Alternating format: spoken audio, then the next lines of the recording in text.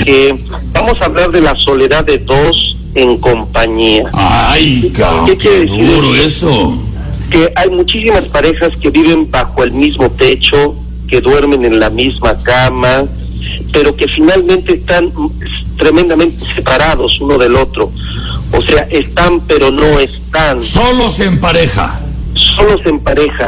O sea, finalmente sí puedes llegar a compartir tu soledad con tu pareja Sí. en el sentido de que respetamos los espacios personales de cada uno, Eh. pero no me refiero a eso, sino me refiero al hecho de estar a fuerzas en esa relación porque no has tenido el valor, la honestidad, la conciencia de sincerarte contigo mismo, de sincerarte con tu pareja y darle las gracias si en determinado momento ya terminó el amor, porque como dijera José José, el amor acaba. O sea, no siempre el amor tiene que ser colorín colorado y vivieron felices para toda la vida. O sea, finalmente en las relaciones de pareja y cualquier fenómeno en la vida misma tiene ciclos. Y lo importante es saber reconocer cuándo nuestro ciclo terminó.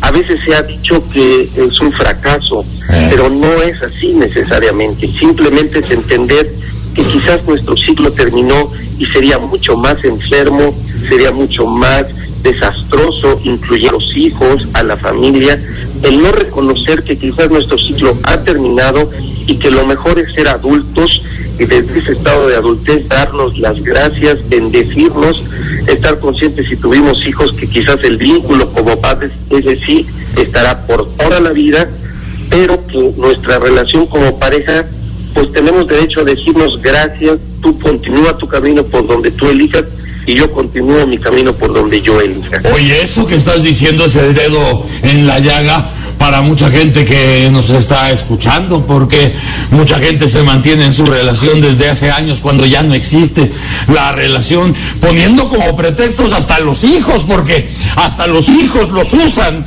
para pa- porque no se atreven, como tú dices, a, a decir la verdad de lo que pues realmente no es un fracaso, ¿no?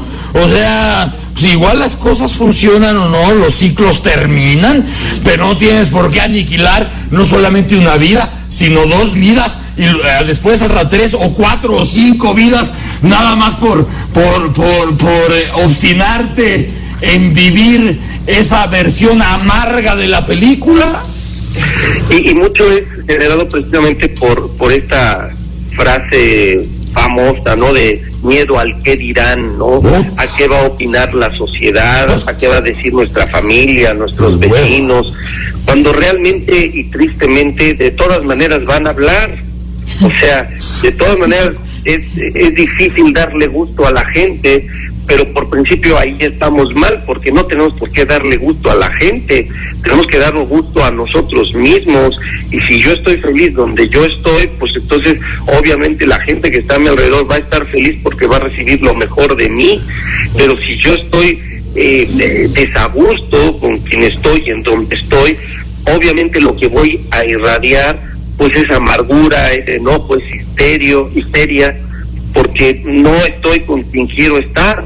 Entonces, eh, eh, además de que esto es un conflicto neurótico entre lo que debo, entre lo que tengo y entre lo que quiero. Entonces tenemos que ser congruentes y honestos con nuestra vida porque hoy por hoy, hasta donde se ha podido comprobar, pues la única vida es esta, la única vida que cada quien tenemos es esta y es única y es irreemplazable y por ende es valiosa. Pero si nosotros no le impregnamos ese valor a nuestra vida, pues entonces ¿quién se lo va a dar? Además, como tú bien decías, para los hijos, venir de un hogar de padres divorciados es muy difícil, pero vivir en un hogar en donde todo ya está destruido es mucho más malo.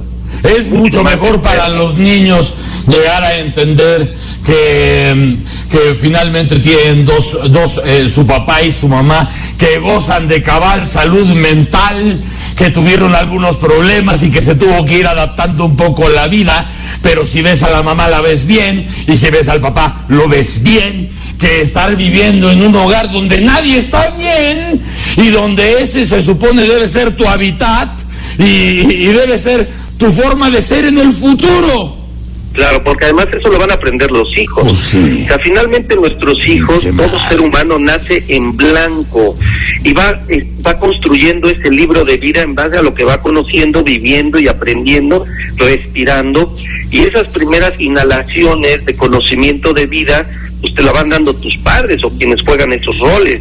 Lo que vas tú aprendiendo de y lo que va conformando tu personalidad, pues va siendo el hogar que respiras día a día.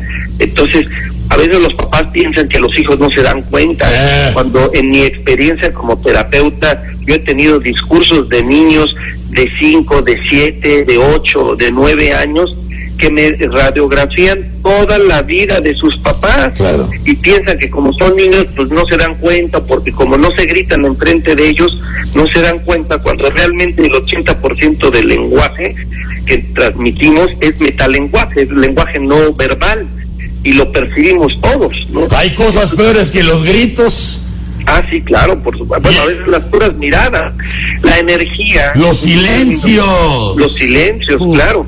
Por eso el, el- el nombre del programa de hoy, ¿no? De soledad de dos en compañía, es. ¿no? O sea, estamos en soledad, a lo mejor no nos gritamos, pero se siente que no estamos, ¿no? Y además se sabe que quizás hay terceros en medio, que a lo mejor él ya tiene un amante o ella también lo tiene y los dos lo tienen, entonces, pues qué necesidad. Sí, ¿cómo? Cada uno puede ser feliz por su lado. ¿Cómo te contacta la gente para hablar de este tema y de 200 mil más que hay en la pareja y, y en la persona sola que tiene que resolver cosas de estas índoles? Estamos en el teléfono de mis oficinas, de mi consultorio, tanto para la terapia individual o de pareja o para el espectáculo que tenemos. Tenemos desayuno show la próxima semana, el miércoles, de 9 de la mañana a 12 de la mañana. Es desayuno show exclusivamente para mujeres, el manual de los hombres. Para todos esos informes, el teléfono es el 53 74 29 61 53 74 29 61 o mi página www.rubencarvajal.com. Perfecto, Rubén, muchas gracias. A tus órdenes, hermano, muchísimas gracias. Que estés muy bien.